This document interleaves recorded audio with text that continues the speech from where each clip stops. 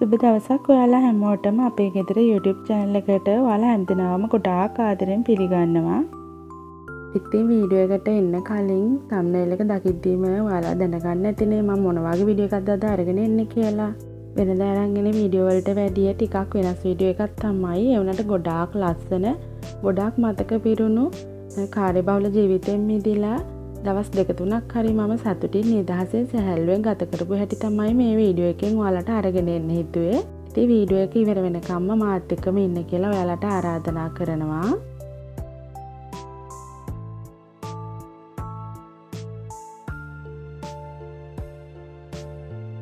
පහුගිය දෙසැම්බර් 23 වෙනිදා මගේ ලොකු දුවණිගේ නර්සරි එකේ කොන්සර්ට් එක තිබුණා. ඉතින් එදා කොන්සර්ට් එකේ පොඩි වීඩියෝ එකකුත් ඔයාලට මේ වීඩියෝ එකත් එක්කම අරගෙන එන්න හිතුවා. මෙතන බෑන්ඩ් එකේ ලීඩට යන්නේ මගේ ලොකු දුව. මේ දකුණු අත පැත්තේ ඉඳන් දෙවෙනියට ඉන්නේ මගේ දුව. ඒ වගේම එයාගේ නර්සරි එකේ ටීචර් ගොඩාක් දක්ෂයි. බබාලට හැම දෙයකින්ම ඉදිරිපත් කිරීම වලට ලස්සනට හැමදේම කියලා දීලා තිබුණා. ඒ වගේම උත්සවයත් ලස්සනට සංවිධානය කරලා තිබුණා.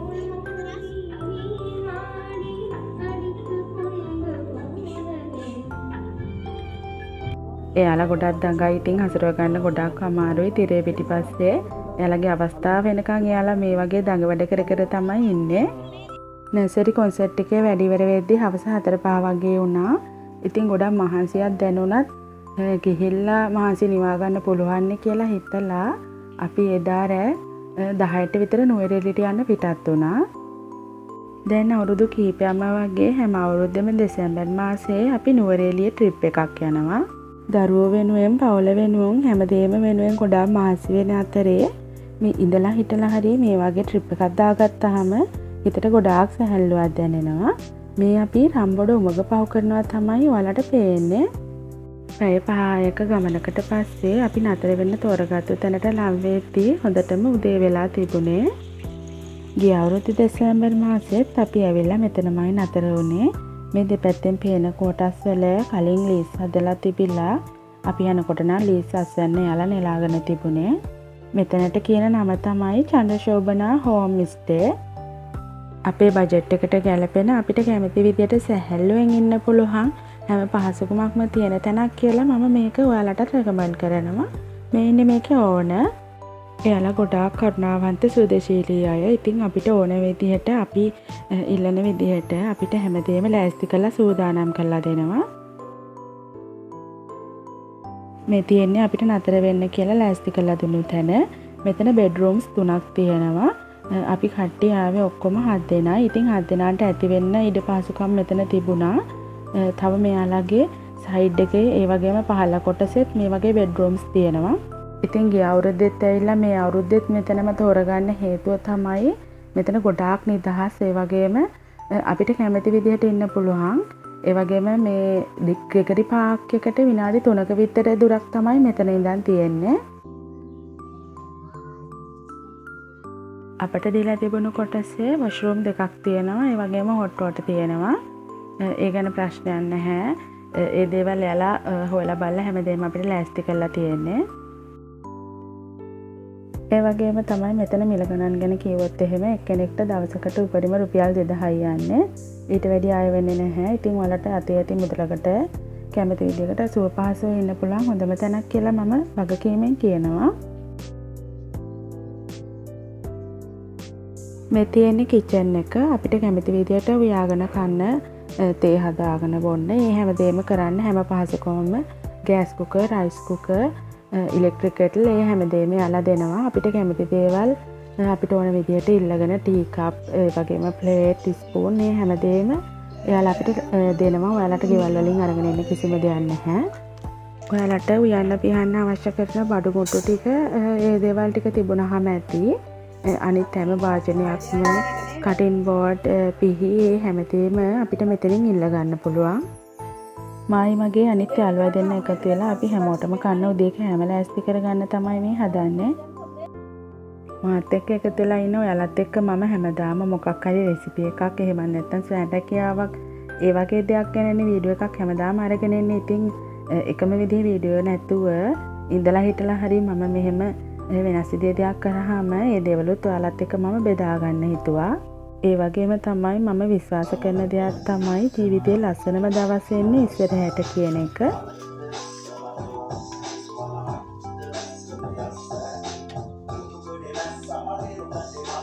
රෑලි වෙනකන් නිදිමරාගෙන දුර ගමනක් ආපු නිසා ටිකක් දවල් වෙනකන් නිදාගෙන ඇහැදිලා තමයි අපි ටිකක් පරක් වෙලා උයන්න ගත්තේ.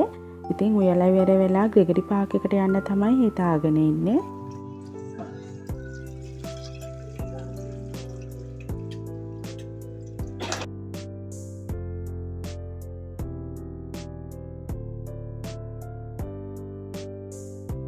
අද මේ ගමනට මයි හස්බනුයි බබාලා දෙන්නයි. හස්බන්ගේ හොඳම යාළුවයි යාගේ වයිපෝය තව මල්ලිලා දෙන්නෙකුයි මගේ යාලුවකුයි තමයි එකතුනේ අපි ආපුගේපු ලස්සන තැන් නුවරෙල්ලියේ ගත කරේ කොහොමදේ? ඇවිදෙන් මේ වීඩුව එකේදී වලත් එක් අරගෙනෙනවා ඉතින් ටිකටම වීඩියෝ එකත් එක්ක ඉන්න.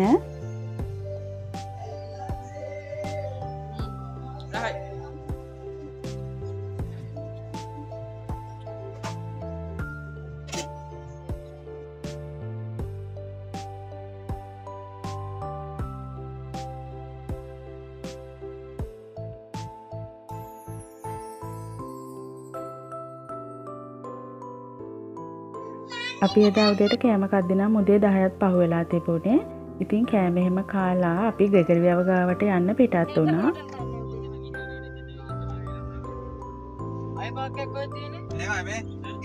අපි කොට අත ලයිට බල නේවගේ සෙට්ටක්න්න අතන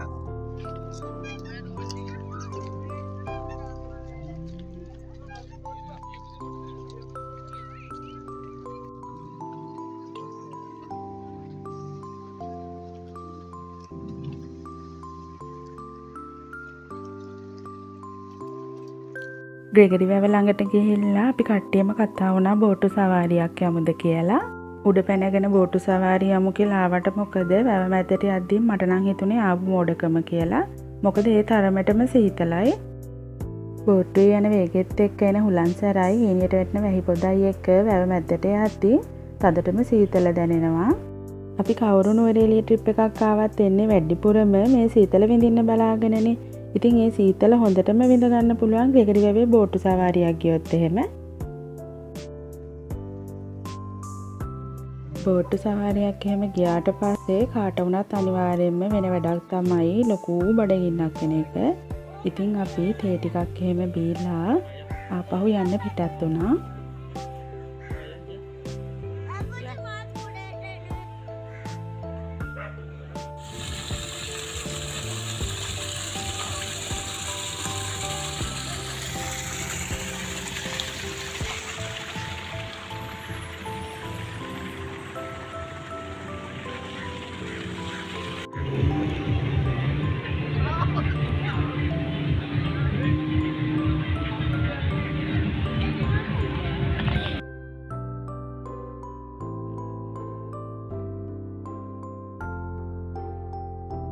කොච්චර වැහිපිට වැහි වැස්සත් අපේ සෙට් එකේ ෆොටෝ කපල් එක තමයි මේ ඉන්නේ. අපි මේ වතාවේ යද්දි නම් කියන්න තරම් ලොකුවට මල් පිපිලා තිබුණේ නැහැ. ගොඩාක්ම ලස්සනට නුවරඑළියේ මල් පිපිලා තියෙන්නේ අප්‍රේල් මාසෙට.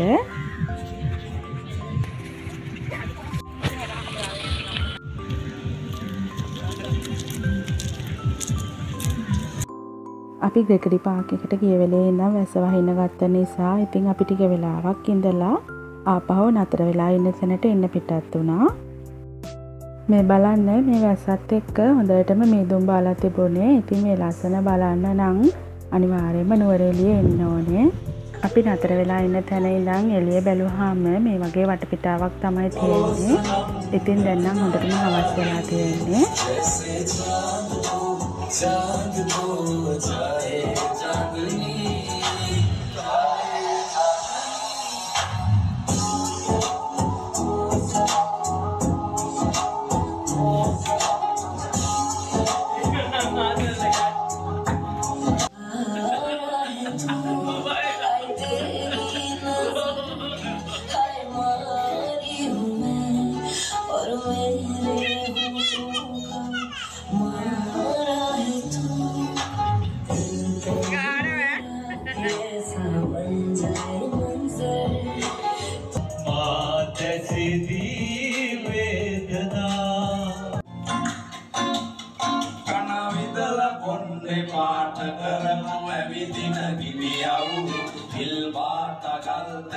ඉතින් එදාර අපි හැමෝම ওই විදිහට පොඩ්ඩක් විනෝද වෙලා කල්තියා නිදාගත්තා.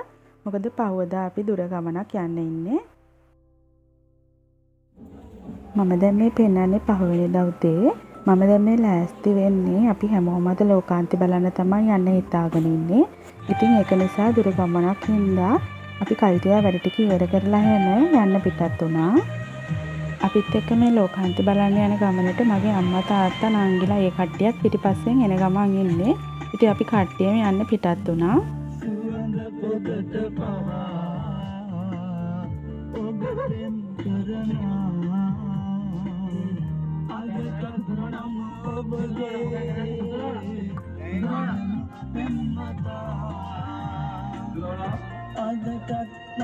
ඇහුණා නේද පිටිපස්සේ ඉන්න මලිලා ටිකට ගෑල් ළමයි දෙන්නේ තුන් දෙනෙක් දැක්කහම මොකද වෙන්නේ කියලා. මට නම් අපි ජීවත් වෙන පරිසරයත් එක්ක ගත්තහම අපේ රටේ මේ මධ්‍ය කඳුකරේ ඒ කියන්නේ නුවරඑළිය ප්‍රදේශයේ වාගේ තියෙන පරිසරය ගොඩාක් ලස්සන අමෝතු නිස්කලංක හැඟීමක් තමයි හිතට දැනෙන්නේ මේ බලන්න අපි දැන් මේ අඹේවෙල පහු කරගෙන යන ගමන් තමයි ඉන්නේ මේ වීඩියෝ එක ඔයාලට බලන්න එඩිට් කරද්දී මට හිතුණ දෙයක් තමයි මේකේ ඔරිජිනල් සවුන්ඩ් ටික මියුට් දාන්නේ නැතුව ඒ සවුන්ඩ් එකත් එක්කම මේ වීඩියෝ එක ඔයාලට ඉදිරිපත් කරා නම් අපි ඒ ගත කරපු ෆීලිං එක ඒ නැචරල් දේවල් ඒ හැම දේම ඒ විදිහටම දැනෙන විදිහට මේ වීඩියෝ එක එඩිට් කරා නම් හොඳයි කියලා. ඒක නිසා තමයි මම මේ අපි කතා බහ කරන දේවල් යන එනකොට ඒ තියෙන නොයිස් එක ඒ දේවල් කිසිම දෙයක් මියුට් දාන්නේ නැතුව මේ විදිහට අප්ලෝඩ් කරේ. හොටන් ප්ලේන්ස් යන අතරමඟ අපිට හුරතල් යාළුවෙක් හම්බුණා. බලන්නකෝ එයා මොකද කරන්න කියලා. කටටම දැම්ම. මටත් එකක් දෙන්නකෝ. චූටි පෙට්ටිය කෙල ගෑවුණ අය කට එකක් දෙන්න. තව එකක්. එයාට බඩිගෙන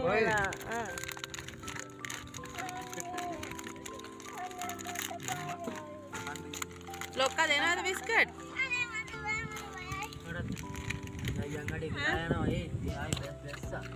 හරි හරි ඇතියන් මට හිතෙනවා අපේ ගමනේ ලස්සනම කොටස තමයි අපි දැන් මේ පහු කරන්න කියලා. බැලුවත් එක්මානේ පේන්නෙම මේ විදිහටමයි. අර දුරින් පේන ගස් ටික ඇරෙන්න උසට ගහක්වත් නෑ මේ හරියේ. ඉතින් ගොඩාක් ලස්සනයි. සීතල හුලං ඒ හැමදේම විඳගෙන මේ ටික පහු කරද්දී නිකන් අමුතුම ලෝකයකට ගියා වගේ හැඟීමක් තමයි දැනෙන්නේ. ඔන්න ඉතින් දැන් අපි ගොඩාක් දුර ගෙවාගෙන හෝටන් තැන්නට ආවා. මේ පේන වතුර පාර දිගටම ගලාගෙන මුළු හෝටන් තැන්න පුරාවටම ගිහිල්ලා පහලට බේකසැල්ල විදියට කඩාන හැදෙනවා. ඉතින් අපි මේ යන්නේ ඒක බලන්න. ඉතින් ලෝකාන්තයට යන ගොඩාක් දුරයි සාමාන්‍යයෙන් පැය 3ක විතර ගමනක් මේක. ඒ වගේම තමයි අපිට ඇතුල් වීමේදී ටොෆියක්වත් අරගෙන එන්න දෙන්නේ නැහැ. ඔයාලා මෙතෙන්ට එන්න හිතාගෙන ඉන්නවා නම් පොඩි බෑග් එකක් වතුර බොටල් එකක් ඇරෙන්න ටොපියක්වත් අරන් එන්න එපා. මොකද ඔක්කොම එතන චෙක් කරන චෙක් පොයින්ට් එකෙන් ඒගොල්ලෝ අරගන්නවා.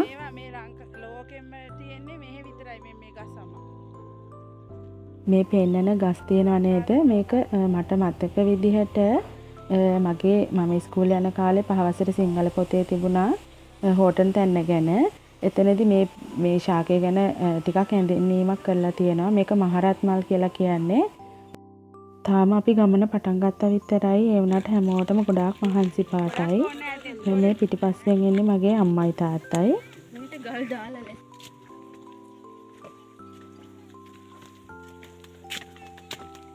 මම අර මුලදි පෙන්නුව ඇලපාර තමයි මේ තැනින් තැන විශාල වෙමින් කුඩා වෙමින් මුළු හොටන් තැන පුරාවටම ගලාගෙන යන්නේ. දැන් නම් ටිකක් හවස් වෙන්න වගේ එන නිසා මේ දුම් පාරත් හොඳටම වැඩි වේගෙන එන්නේ. මේ බලන්න අපේ උස මට්ටමටම වගේ දැන් හොඳටම මීදුම තියෙනවා. මට ඉතින් ගොඩාක් ලේසි වුණා මගේ බබාලා දෙන්නත් පයින් ඇවිදගෙන යන්න කැමති වුණ නිසා නැත්තම් ඒ දෙන්නත් වඩාගෙන යන්න ගියා නම් මට කොහොමදවත් මේ ගමන යන්නේ නැතුව අතරමඟ නතර කරන්න වෙනවා. මේ හොඳ පණ ගිහිල්ලා වගේ ඇවිදගෙන එන්නේ මගේ ලොකු නංගි. එයාට නම් දැන් ගොඩාක් මහන්සි පාටයි.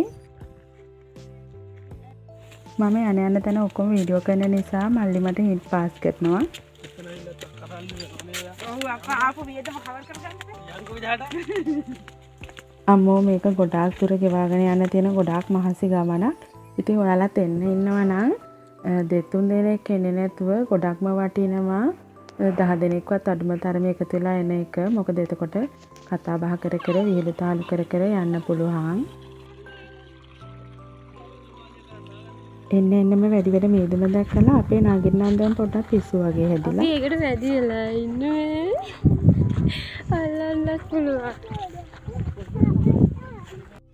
අම්මෝ දැන්නම් හොඳටම මහන්සි පැය ගානක දුර ගෙවාගෙන මග නතර වෙවි කොහොම හරි ඉතින් අපි ටික ටික දැන් බේකර්ස් වලට කිට්ටු වුණා. හෝටල් තැන්න පුරාවටම පටන් ගත්ත තැන ඉඳලා මම අර පෙන්නපු වතුර පාර තමයි මේ විදිහට බේකර්ස් වල විදිහට පහලට ගලාගෙන හැලෙන්නේ. මේකට බේකර් ගේ කියලා කියනවා. ඉතින් මෙතනින් එහාට නම් අපි ගමන ගියේ නැහැ. මොකද ගොඩාක් දුර ගෙවා ගන්න පැය ගානක ගමනක් ඇවිල්ලා මෙතනින් එහාට කොහොමටවත් යන්න තරම් අපිට හයිය තිබුණේ නැහැ. ඉතින් තව යාළුවෝ දෙතුන් දෙනෙක් ගිහිල්ලා එනකන් අපි ආපහු වාහන පාක් කරලා තියෙන තැනට ගියා. මෙතන මේ බේකසැල්ල විතරක් බලලා මේ බේකසැල්ල ගාව ඉඳලා කිලෝමීටර 3ක් විතර ලෝකාන්තයට තව දුර යන්න තියෙනවා. මම දැන් මේ පෙන්වන්නේ අපි ආපහු එන දවසේ උදේ තමයි. ඉතින් අපි එන්න කලින් උදේට කෑම කාලා එන්න. ඒ වගේම මග අපිට කාලතේ බොන්න රොටි ටිකක් එහෙම හදාගෙන එන්න තමයි ලෑස්ති වෙන්නේ. ලෝකාන්තයට ගිහිල්ලා එන අතර මග කිසිම දෙයක් මට වීඩියෝ කරගන්න බැරි වුණා. මොකද ඒ තරමටම මහන්සියක් දැනුන නිසා. පහුවෙන්දා උදේ අපි කට්ටියම එකතු වෙලා ඔක්කොමලා මෙතනින් අපි 12ට කලින් මෙතනින් පිට වෙන්න ඕන නිසා හැමෝම එකතු වෙලා මේ විදියට උදේ කෑම දවල් කෑම ලෑස්ති කරගත්තා. මම දැන් ඔය රුපියල් පහක් විතර බිම වැටුණා කියලා කිව්වේ බිලුණු කෑල්ලක් බිම වැටුණා ඒක නිසා අපේ රටේ බිලුණු ඉතින් කොහොමද රත්තරන් වගේ වටිනවනේ. අපි කට්ටියම එකතුලා සහයෝගයෙන් ඉතින් ගැහණු පිරිමි ભેදයක් නැතුව හැමෝම එකතු වෙලා කෑම ටික හදාගත්තා. ගෙදර ඉති හැන්දක් වලදක් අතින් අල්ලන්නවත් නැති කට්ටිය මේ විදිහට කෑම හදන එකම ඉතින් ලොකු දෙයක් කියලා හිතුණා මට මේ දේවල් දකිද්දී. ඉතින් ඔන්න ඔය විදිහට ලස්සන මතක පිරුණු ලස්සන නිවාඩු දවස් දෙක තුනක් ගත කරලා අපි නුවරේලියෙන් ආපහු වෙන්න පිටත් වුණා. ආපහු ගෙදර යන්න පිටත් වුණා කීවහම මගේ හිතට දැනෙන දුක ගැන නම් මට කියන්න වචන නැහැ. මොකද මම ඒ තරමටම ගොඩාක් ආස කරන තැනක් තමයි නුවරේලිය කියන්නේ. ඉතින් ලබන අවුරුද්දෙත් මේ විදිහට අනිවාර්යෙන් වෙනවා කියලා හිතේ තියාගෙන අපි ආපහු එන්න පිටත් වුණා.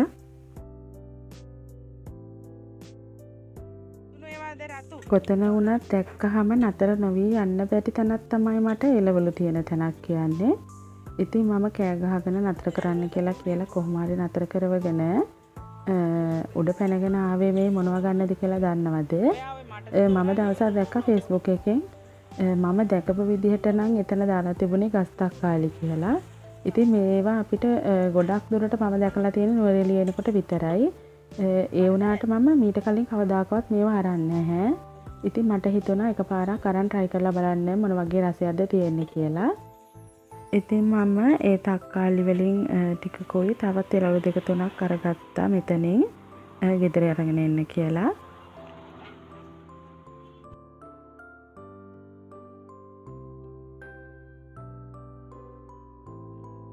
ආපහු එන අතරමඟ අපි ටිකක් ලස්සන තැනකින් අතර කරලා හදානාව රොටි කාලා තේ